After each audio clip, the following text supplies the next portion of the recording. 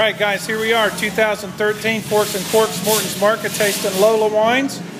Beautiful. And who do we have here? Oh my God, it's Seth, the winemaker owner from Lola. Wave, Seth. It's a video. There you go.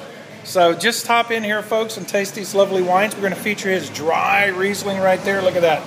Beautiful. Lola is uh, like Brazilian female name. Really? Yes. Wow. Well, say